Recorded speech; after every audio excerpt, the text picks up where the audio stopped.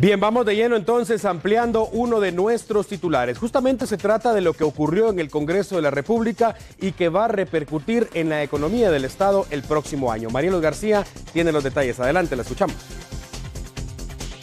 Alan, definitivamente pues yo me encuentro aún a las afueras del Congreso de la República para poder pues comunicarles lo que el día de hoy pues sucedió en la sesión que se tenía convocada para este día.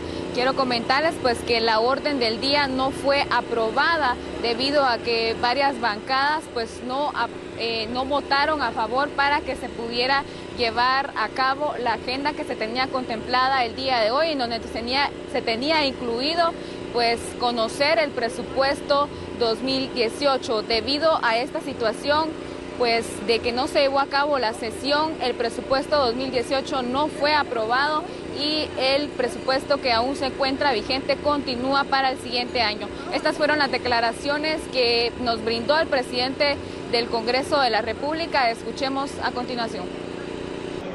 Eh, sí, pues el día de hoy eh, eh, prácticamente había una instrucción del Pleno hacia mi persona como presidente del organismo legislativo de poder entrar a discutir en tercer debate el proyecto de presupuesto de ingresos y egresos del Estado para el periodo 2018. Pero eh, no fue aprobada el orden del día por el Pleno, derivado a que entiendo que los consensos que tenía el bloque oficial eh, no, eh, no se cumplieron, no se tuvo la eh, los 80 votos para abrirla, lo cual a mi criterio es lamentable porque queríamos ver a un presidente de la Comisión de Finanzas exponiendo los argumentos y los temas de lo que contenía el presupuesto, que tanto se habló de un presupuesto abierto que se hizo a través del Ejecutivo pero que en la Comisión de Finanzas eh, también sufrió cambios. Entonces entiendo que también había eh, algún malestar de algunos bloques y, no se pudo entrar a, conocer, ni mucho menos a discusión ni aprobación el presupuesto, por lo tanto, pues quedará vigente el presupuesto del año, eh, de este presente año para el periodo 2018.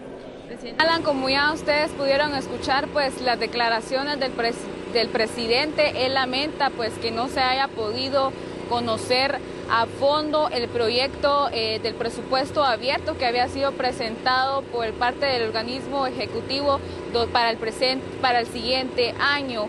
Pues él ha indicado que debido a la situación que les comentaba hace un, un momento de que no se llevó a cabo la agenda que se tenía contemplada para este día, pues el presupuesto no se pudo conocer, por lo tanto no fue aprobado. Él nos comentó que el día de hoy pues terminan las sesiones ordinarias para el organismo legislativo. A partir de mañana ya se convocan a sesiones extraordinarias. Él nos indicaba pues que estaría convocando a los jefes de bloque para poder hablar sobre esta sobre este tema. Esta es la información que tenemos. Regreso con ustedes al set principal.